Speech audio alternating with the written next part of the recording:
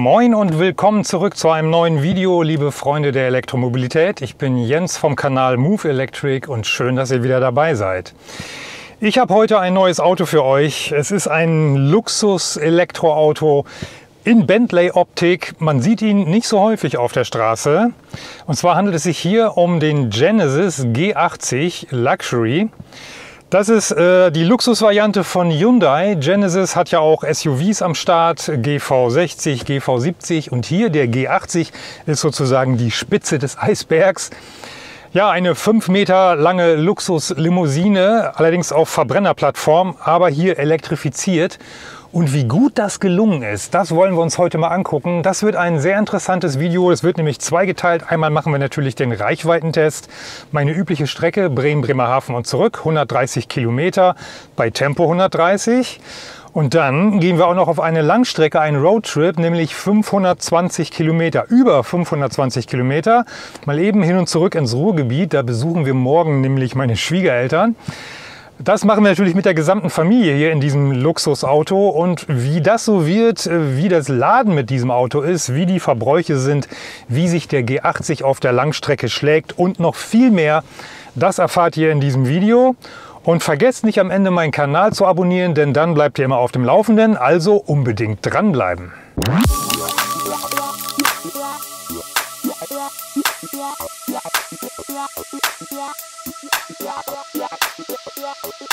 Bye. Apropos Shop for Tesla, die feiern ja nach wie vor zweijähriges Bestehen ihrer Marke To Be Fair, nachhaltige Produkte made in Germany. Und die Rabattaktion 10% auf die Produkte im Shop for Tesla wurde jetzt verlängert. Gilt noch bis Ende Februar. Und ihr bekommt mit meinem Rabattcode MOVEElectric5, ja die 5 steht normalerweise für 5%, jetzt gibt es damit aber 10%, zumindest bis Ende Februar. Zum Beispiel Fußmatten für euer Model Y oder Model 3 und eben auch die nagelneue Organizer Box äh, super für die Mittelkonsole. Schaut euch das doch mal an. 10% im Shop for Tesla bis Ende Februar. Wir haben hier eine zweifarbige Lederausstattung mit echten Ledersitzen. Die sind so in so einem gedeckten Weiß gehalten mit diesem englischen ja, was ist das? Irgend so ein Grünton oder ist das ja grünlich, ne? So dunkles Grün mit so weißen Ziernähten hier, genau das zweifarbige Lenkrad. Eine große Mittelkonsole mit Echtholz in so, das ist so silber lackiert. Es gibt es auch in Alu oder in äh, Wurzelholz, also mit so braunem, richtigem Holzoptik. Und äh, wir haben hier ein 14,5 Zoll großes Display mit einem digitalen Kombi-Instrument, was sogar eine 3D-Optik hat. Da kann man die Tiefe verstellen. Wir haben hier noch ein drittes Display für die Klimatisierung. Ist natürlich auch alles Touch. Ablagen haben wir in der Mittelkonsole zum Beispiel hier. Das ist also eine induktive Ladeschale. Und hier passt das Handy eigentlich ganz gut rein. Man muss aber irgendwie immer an dieser Klimatisierung vorbei. Und da muss man, also manchmal weiß man nicht so genau, wie man das da reinkriegt. Das ist hier irgendwie im Weg. Zwei USB-Ports sind verbaut, ähm, leider USB 2. Äh, einmal für Daten und einmal nur zum Laden. Äh, ja, für Daten, das ist dann zum Anschließen des Handys, damit man CarPlay machen kann. Das gilt nämlich nur drahtgebunden, leider nicht drahtlos. Die Sitze sind extrem bequem, sie sind perforiert, weil sie nämlich nicht nur beheizt sind, sondern sie sind auch belüftet. Kann man hier alles wunderbar einstellen. Und äh, was man natürlich auch hier äh, Genesis, Kia, Hyundai typisch einstellen kann, ist, dass man nur die Fahrerseite beheizt. Äh, dass der, die Beifahrerseite nicht beheizt wird, wenn eben keiner hier drin sitzt, man alleine fährt. Spart ein bisschen Energie. Überhaupt Wärmepumpe hier serienmäßig. Ähm, was leider nicht serienmäßig ist, auch nicht für Geld und gute Worte, ist eine Anhängerkupplung.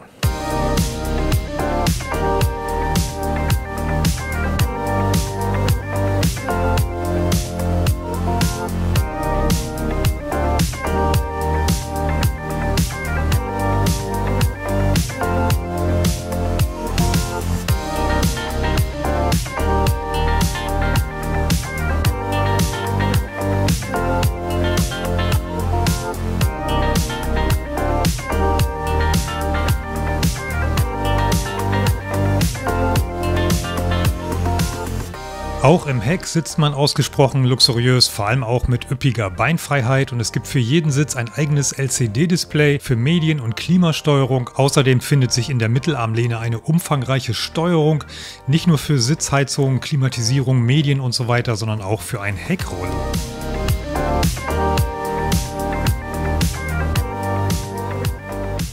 So, ich würde sagen, wir können starten. Hat natürlich pünktlich angefangen zu regnen. Wir haben jetzt noch 93 Prozent im Akku und eine angezeigte Reichweite von 316 Kilometer. Das lässt ja auf einen entspannten Test hoffen, wenn das Wetter nicht wäre. Aber gut, äh, kann ich halt nicht ändern. Das ist ja immer bei mir so. Jetzt fahren wir also mal los. Und das Riesenschiff kriege ich hier tatsächlich so ohne Probleme aus der Einfahrt. Wendekreis 11,60 Meter. Ja, das ist weniger als unser Tesla Model Y. So, jetzt sind wir unterwegs und äh, das Auto ist ja im Prinzip Business Class und man merkt es auch sofort beim Fahrwerk. Das Ganze ist sehr elegant, sanft. Die ganzen Erschütterungen hier von den Gullideckeln werden super absorbiert. Komfortabler geht es kaum, glaube ich.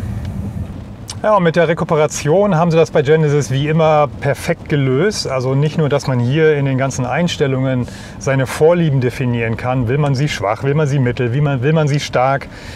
Nein, es gibt ja auch noch Lenkradpedals, wo man sie in drei Stufen einstellen kann, bis hin zum iPedal.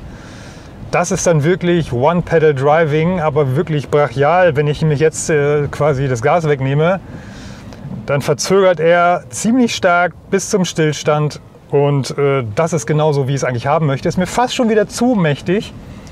Ich nehme mal eine Stufe zurück, stelle es auf Stufe 3. Dann segelt er noch ein bisschen mehr. Das ist sehr angenehm. Was mir dann aber auffällt, ist, wenn er dann zum Stillstand gekommen ist und man drückt dann wieder aufs Gas- oder Strompedal, dann äh, hat er nicht den Punch, obwohl er ja die brachiale Leistung hier hat, sondern er hat so ein bisschen so eine ganz langsam ansteigende Beschleunigungskurve das ist dann so nachempfunden, wie halt ein Verbrenner reagiert. Und äh, damit die Leute mit dieser Leistung, die dieser Wagen hat, nicht überfordert sind. Jo, Ampelstarts gelingen hier mit dem G80 natürlich bravourös. Also man fährt eigentlich allen davon. 4,9 Sekunden von 0 auf 100. Er hat 370 PS, 272 kW und ganze 700 Newtonmeter Drehmoment. Das ist schon echt eine brachiale Leistung. Natürlich hier mit Allradsystem, das heißt Traktion ohne Ende. Man kann die Performance voll auf die Straße kriegen. Damit lässt man mit diesem Wagen eigentlich fast alle anderen stehen. Und man darf ja nicht vergessen, dass er hier einiges an Gewicht zu bewegen hat. Das sind nämlich ganze 2,3 Tonnen, also genauer gesagt 2325 Kilo. Und das in 4,9 Sekunden, das ist schon heftig, muss ich sagen. Ja, aber leider haben wir ja diesen Regen heute. Ich hoffe, der hört vielleicht noch wieder ein bisschen auf bis Bremerhaven, aber wir haben ja immer so ein Regenloch. Bin mal gespannt, ob ich da heute auch wieder reinfahre. Noch habe ich die Hoffnung nicht aufgegeben, ja. Aber wir fahren ja gleich auf die Autobahn. Tempo 130 versuchen wir zu halten, trotz des Wetters. Oh gut, er hat 19 Zöller drauf, Winterreifen, sollte eigentlich klappen.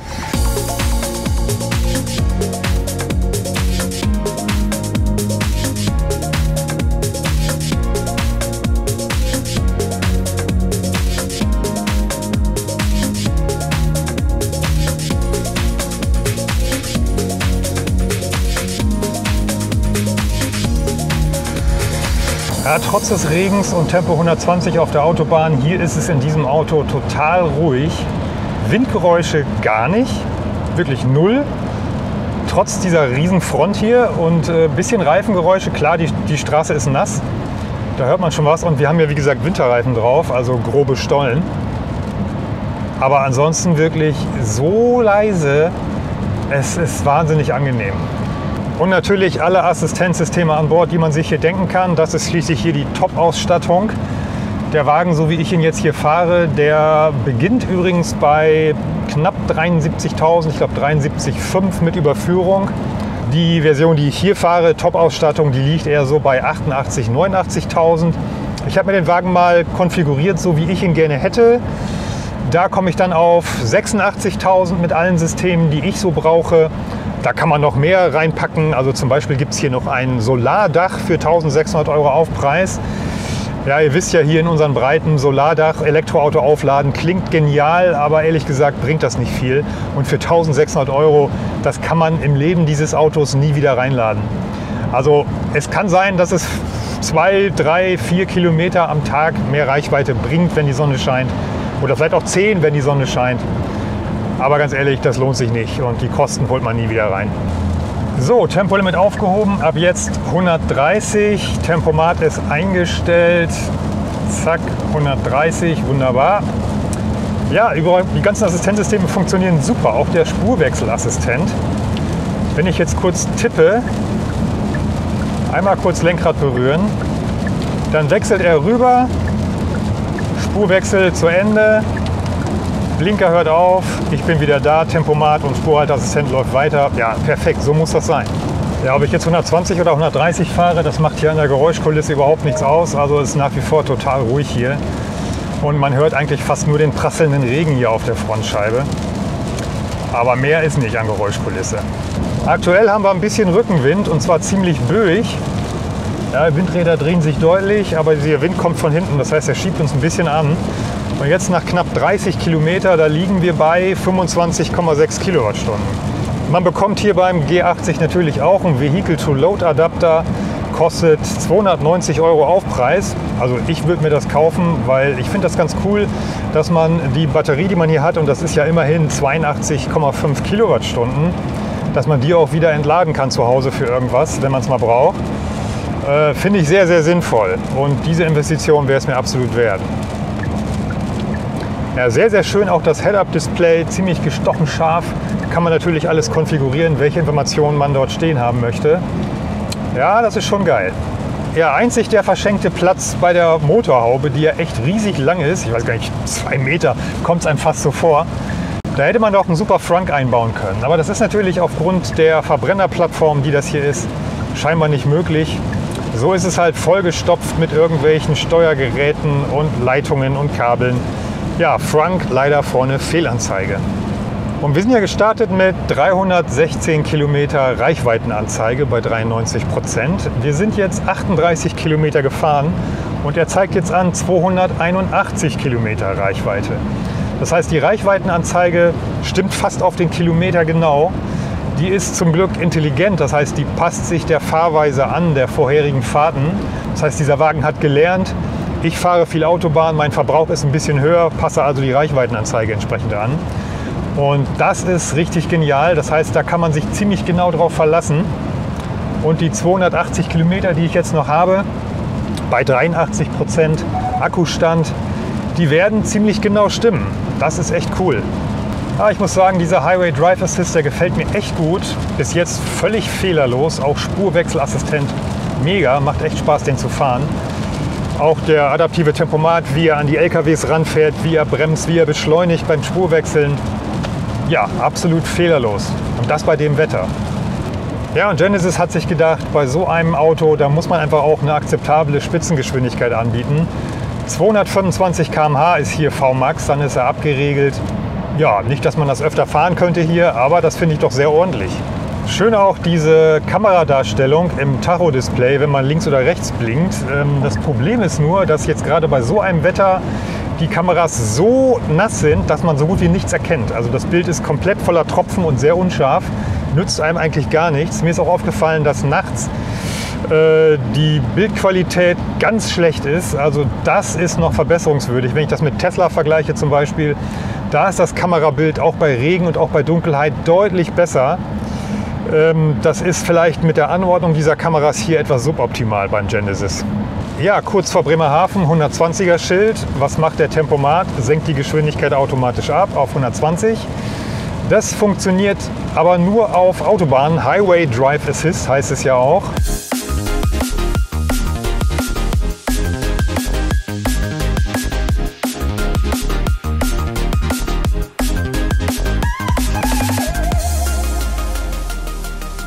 55 Kilometer gefahren, immer noch 25,0. Bisschen runtergegangen ist es. Gleich ist wieder hier die Wendestelle. Da fahren wir runter von der Autobahn und drehen um. Und dann geht es wieder 65 Kilometer zurück nach Bremen. Regen hat bis jetzt leider immer noch nicht aufgehört. Ich vermute mal, das wird mich auf der Rückfahrt auch die ganze Zeit begleiten. Aber leider kann ich dagegen nun mal nichts tun. Das Gute daran ist ja, dass diese Wetterbedingungen immer so ein bisschen das Worst-Case-Szenario darstellen. Das heißt, diese Verbrauchswerte, die ich hier immer ermittle, das ist immer so ein bisschen das Maximum, was die Autos verbrauchen werden.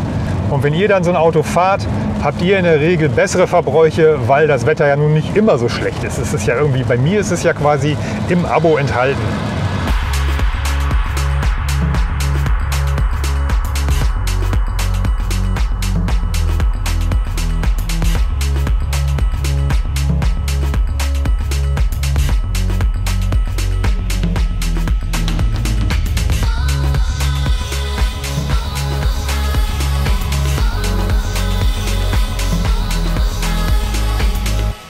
So, 65,1 Kilometer zeigt der Tacho an, 23,8 der Durchschnittsverbrauch im Moment, 77 Prozent im Akku, 254 Kilometer Restreichweite kommt ziemlich genau hin mit dem, was vorher da stand. Also Genauigkeit dieser ganzen Berechnung super, kann man sich echt toll drauf verlassen. Jetzt hoffe ich mal, dass es auf der Rückfahrt mit dem Gegenwind jetzt nicht noch weiter steigt, weil dieser Verbrauch, so wie er hier ist, der entspricht ja ungefähr dem, was ich mit dem Model S bei meinem Test mit ähnlichen Bedingungen auch hatte. Ähm, jetzt haben wir es 10 Grad, also das heißt temperaturmäßig liegen wir hier ein bisschen besser. Aber ich bin mal gespannt, wie es auf der Rückfahrt sich entwickelt. Ich muss wirklich sagen, das Fahrwerk, das ganze Fahrverhalten, die Spritzigkeit hier vom G80, ey, die begeistert mich. Das macht wirklich Spaß, diesen Wagen zu fahren. Auch wenn er so groß ist, er wirkt dadurch extrem agil und vom Handling her top. Auch vom Wendekreis. Ich mag das.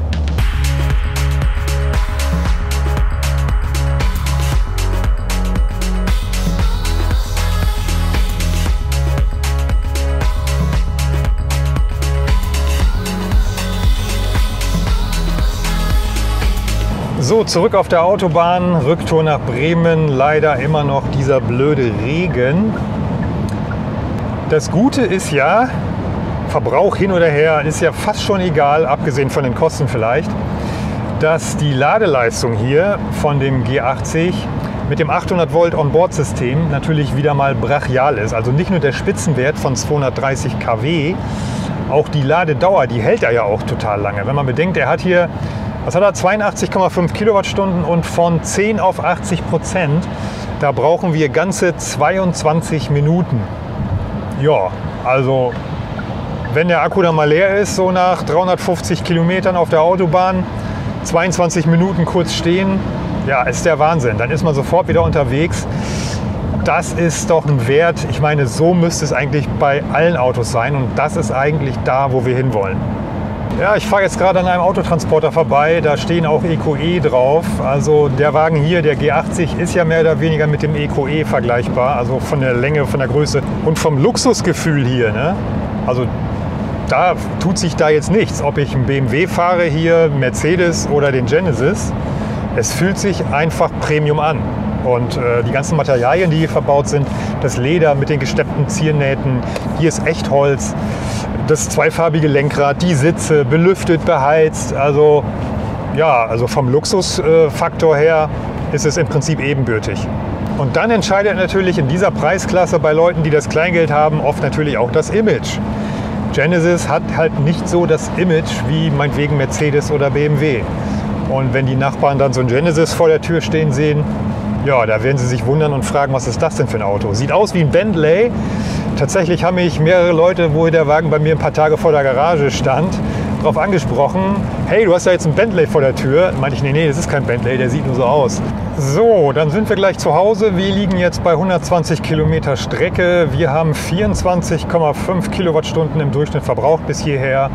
Haben noch 60 Prozent drin, 194 Kilometer wird angezeigt. Also diese Anzeige der Reichweite ist echt so genau, das ist wirklich Wahnsinn.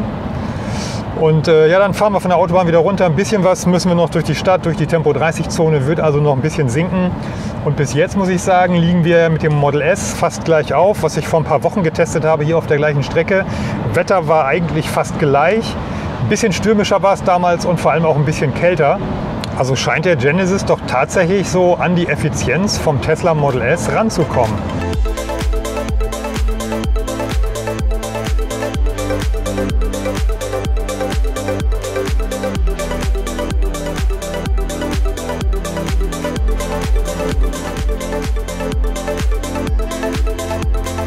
Ja, Leute, wir sind wieder da nach 130,6 Kilometer, wie mir der Bordcomputer hier anzeigt. Und wir haben einen Durchschnittsverbrauch für die Strecke von 23,9 Kilowattstunden. 58 Prozent haben wir noch im Akku. Ja, und damit ist diese Kilowattstundenzahl des Durchschnittsverbrauchs fast gleich wie mein Tesla Model S damals auf dieser Extremstrecke mit dem Sturm, Regen und Schneefall. Gut, es war mindestens 10 Grad kälter damals und der Wind war noch schlimmer, vor allem auch Gegenwind äh, beim Tesla Model S. Von daher sind die Werte nicht ganz zu vergleichen. Aber die Zahl ist zumindest schon mal gleich. Heute bei 10 Grad und ihr habt es ja gesehen, auch extrem Regenwetter. Da ist dieser Verbrauch, finde ich, für so ein Riesenauto geht eigentlich völlig in Ordnung. Und wenn man das mal bedenkt, wir haben 35 Prozent Akku verbraucht für 130 Kilometer Strecke. Ja, bei 100 Prozent entspräche das einer Reichweite von 373 Kilometer zum, oder 370 Kilometer, sagen wir mal, im Durchschnitt. Bei schlimmsten Bedingungen, gut, es geht natürlich noch kälter, aber vom Regen und Wind geht es kaum schlimmer im Durchschnitt, wo man so fährt. Und ich denke mal, mit dem Genesis G80 werdet ihr im Normalfall auf der Autobahn eher noch weiterkommen, also schon die 400 Kilometer bei Tempo 130. Das heißt, diese WLTP-Angabe von 520, die wäre vermutlich in der Stadt möglicherweise gar nicht so unrealistisch. Ich bin den Wagen hier ja auch schon ein paar Tage rumgefahren in Bremen und in der Stadt, da lagen wir dann doch deutlich unter 20 äh, bei diesem Wetter, also so eher so bei 19, irgendwas. Und da rücken die 500 Kilometer dann schon irgendwie in realistischer Reichweite. So, das war erstmal mein standardisierter Reichweitentest und morgen, morgen gehen wir mit dem Genesis G80 nochmal auf eine Langstrecke und machen da sozusagen so einen richtigen Langstreckentest. 520 Kilometer, wir fahren ins Ruhrgebiet und zurück. Und äh, theoretisch 520 Kilometer, das wäre ja die WLTP-Reichweite. Könnten wir also nach WLTP eigentlich durchfahren? In der Praxis wird das nicht klappen. Wir werden also einmal laden müssen. Äh, da bin ich auch gespannt, wie viel Ladespeed der G80 dann irgendwie an den Tag legt. Und ich hoffe, dass das Wetter morgen besser wird als heute. So, los geht's. Wir haben zum Glück heute perfektes Wetter. Es ist total wolkenlos, nur sonnig angesagt heute. Und da macht das Fahren mit dem Genesis G80 natürlich tierisch Spaß. Er ist auch relativ effizient, wie ich auf meinem Reichweitentest festgestellt habe. Da hatten wir ja Regen und ziemlich starken Wind. Und heute bei diesem ruhigen Wetter und der Sonne, da bin ich mal gespannt, wie er sich so schlägt.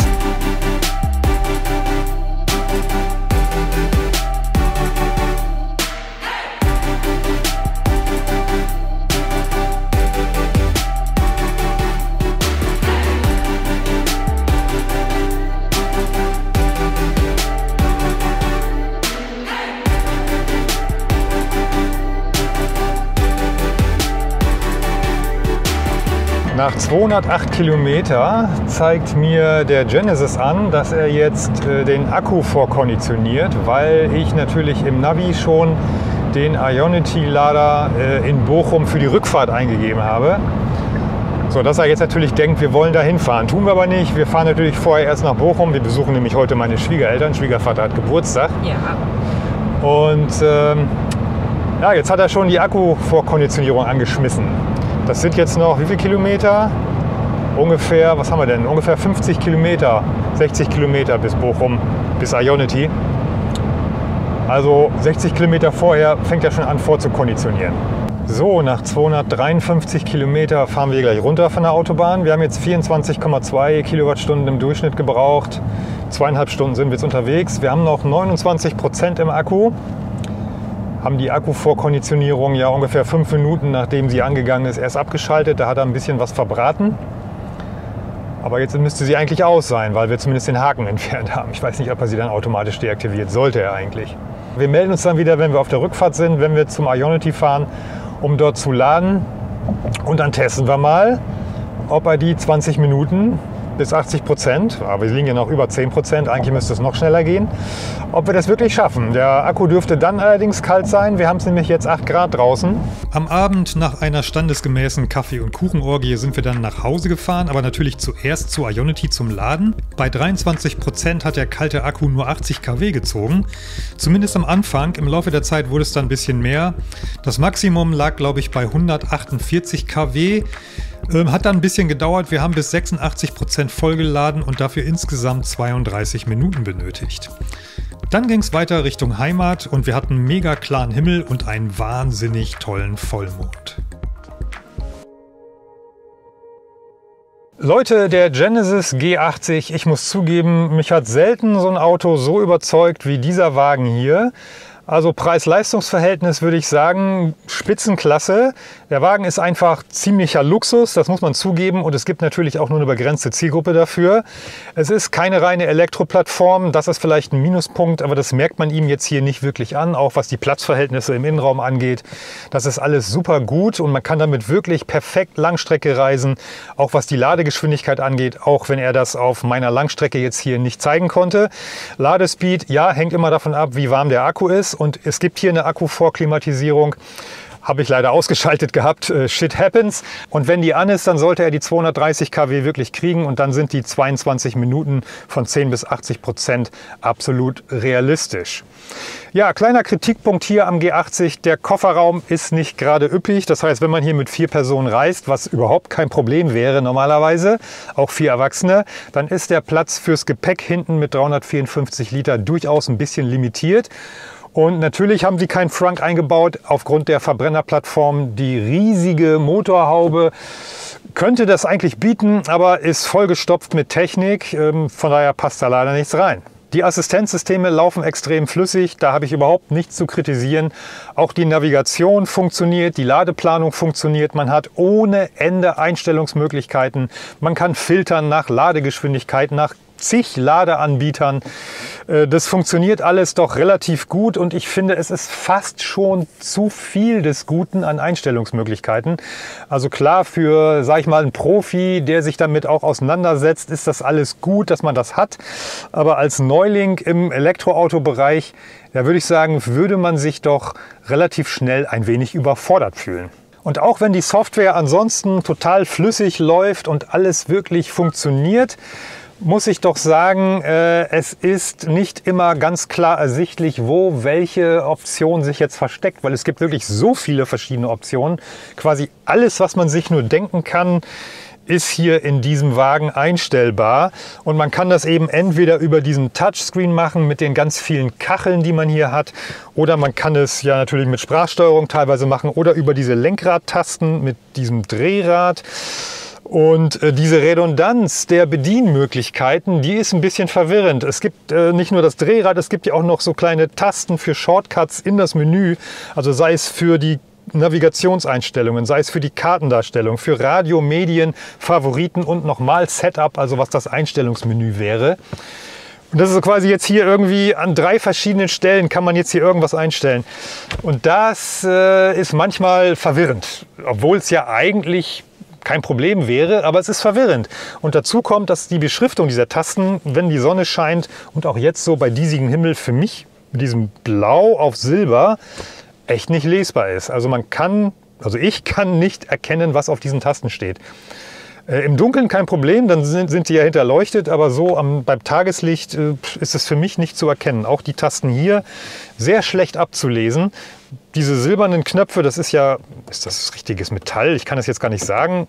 Ja, ist glaube ich Kunststoff, aber ist so Alu-Optik. Sieht ja schick aus, aber Usability dadurch doch etwas eingeschränkt. Und in der Software gibt es immer noch so ein paar Kinken, wo ich einfach nicht verstehe, warum die das so gelöst haben. Also zwei Beispiele. Ich möchte hier die Sitzeinstellung speichern, weil ich während der Fahrt merke, dass der Sitz vielleicht noch ein bisschen weiter nach vorne kann.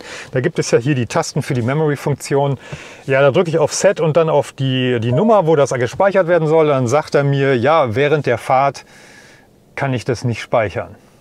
Da frage ich mich, Warum nicht? Zweiter für mich völlig unverständlicher Punkt. Ich fahre auf der Autobahn oder so, die Assistenzsysteme laufen, Highway Drive Assist läuft und ich möchte die Rekuperation verstellen. Äh, ja, sagt er mir, nö, während die Fahrassistenten laufen, kann ich die Rekuperation nicht verstellen. Da fragt man sich auch, warum denn nur Leute? Warum kann ich jetzt nicht während der Fahrt und die Assistenten laufen die Rekuperation einstellen? Das sind nur ein paar Merkwürdigkeiten, die mir irgendwie aufgefallen sind und da frage ich mich wirklich, warum muss das so sein? Wenn ihr also die Zielgruppe seid für diese erstklassige Business-Limousine und euch sonst eher für Mercedes oder BMW interessiert, ja, ich würde sagen, schaut euch den Genesis G80 unbedingt nochmal an. Denn es könnte sein, dass ihr von dem Auto doch genauso überzeugt seid wie ich, wenn ihr den auch mal Probe fahrt. Äh, das wäre auf jeden Fall eine Alternative für euch. Und wenn ihr natürlich nicht zur Zielgruppe gehört, dann könnt ihr euch den Wagen natürlich trotzdem anschauen. Und in jedem Fall würde ich mich freuen, wenn ihr mir einen Daumen nach oben für das Video gebt. Denn ihr wisst ja, das ist ja nicht nur Information. Solche Videos, die ich mache, sind ja auch ein bisschen Unterhaltung. Und ich hoffe, ihr habt euch gut unterhalten in diesem Video und gebt mir gerne einen Daumen nach oben. Und wenn ihr es noch nicht gemacht habt, abonniert meinen Kanal. Und dann sehen wir uns hoffentlich beim nächsten Video. Würde mich freuen, wenn ihr wieder dabei seid. Bis dahin, macht's gut. Ciao.